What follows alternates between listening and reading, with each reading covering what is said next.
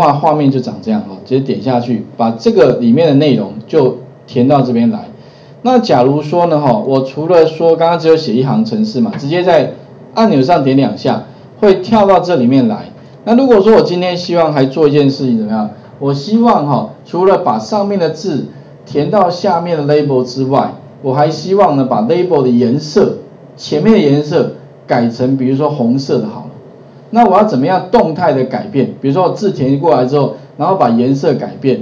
那颜色改变呢，实际上这边就牵涉到有点像。我要把这边用属性里面去更改什么？它的 for color 的里面的颜色值而已啦。其实那只是说呢，我程式该怎么撰写？其实啊，你要慢慢习惯，就是说它的撰写方式也非常简单。你就直接第一个，你要针对的是标签，所以你必须怎么样呢？打一个标签的名称，就是 lbl name 有没有这个它的 ID 嘛？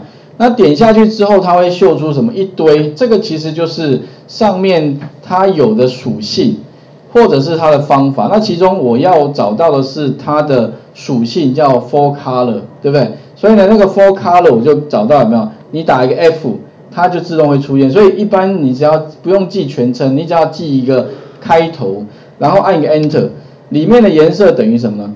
等于红色。那其实红色的话呢，它已经系统里面已经有一个预设的一个类别啊，这个类别就是自动帮我显示那个颜色。那自动显示颜色啊，各位稍微记一下，有一个叫 system 啊，system 这个类别，这个 system 已经预载了哈，系统里面有的点里面的话会有个叫做 draw 这个 drawing 哈，drawing 这个这个这里面的话呢哈，它的里面有一个底下有个 drawing 哈。然后点一下之后的话呢，你再找一个 color，好，color 点下去之后就是颜色，那你就找到红色的话，你就打一个 R 就可以了，好，red 就可以了。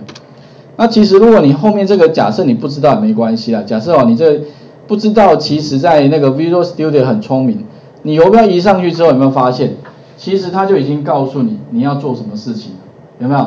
你游标放上去，它不是会出现什么呢？？System 点 Drawing 点 Color，那后面就是你要取得的颜色了吗？对不对？所以呢，如果这边把它点，把它输入上去之后，按一个结束，按一个分号之后，再把它全部储存。那这样子的话呢，将来我就按一下按钮之后，按一下这个按钮之后的话，它会做什么事？把这上面的资料放到这里面来，并且换成红色的。我们来执行，给各位看一下哦。执行起来之后的话呢，那假如说我今天呢输入一个文字。啊，比如说一样啊，Terry，按一个确定，你会发现有没有这个字填下来之后，哎，果真有下来，而且颜色也变成红色。那当然这边还可以做很多变化啦，比如说你按了确定之后，还可以做别的，比如说字可不可以放大，也可以啦，反正你很多的变化，它只是针对什么？针对属性上面去做改变。所以哈，这个范例呢，啊，最后把这个这个这个浏览器关，这把它关闭，关闭之后它就回来了。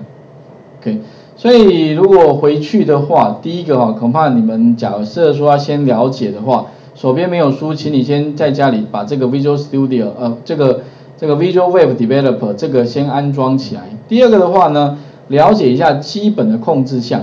那各位可以看到，这个里面的控制项，如果你都了解的话，那基本上你对 ASP.NET 你就可以掌握的很好了。不过呢哈，当然也有常用的，也有非常用的。你常用的话，你就是说呢，了解之后你就知道该怎么做。比如说 label，那这里面有哪一些标签？其实有些标签不常用，不过你至少要知道颜色前景的部分啊，就是从 four color 里面去做调整。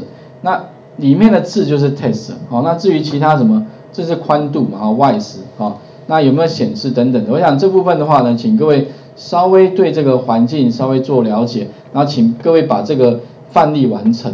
那完成之后呢？如果说你今天做完毕哈，将来要把它备份起来嘛，不然你作为网站，你下一次又要开，那怎么开哦？或者回家想开的话，记得哈，我先把它缩小好了。刚刚做的东西在哪里呢？